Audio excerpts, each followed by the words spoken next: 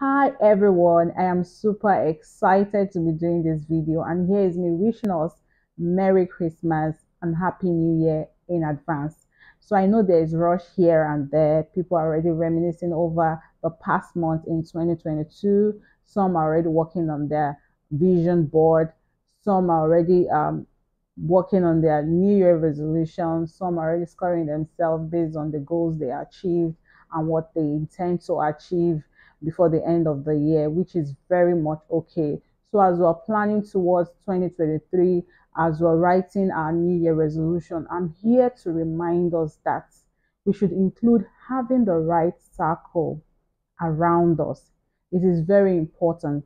Like I always say, humans do not deserve to live life alone. Sometimes we feel like we can do it alone. We need humans, but we need the right circle of people around us because it is very, very crucial. Now, some of us don't have connection and um, we need to belong to a particular tribe, a particular group um, that can recommend us, that can open our eyes to so many opportunities for hangouts, for business ideas, collaboration, and most importantly, safe space.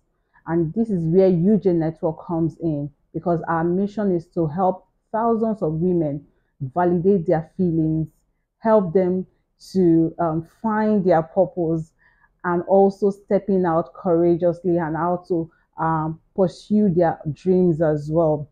And don't forget that UJ Network is a community of women with like minds who are unified by common goals and interests and are empowered to live their best life unapologetically. So, if you want to be a part of this community, click the link in my bio to join the January wait list. So, uh, Merry Christmas once again and Happy New Year in advance. In advance, thank you.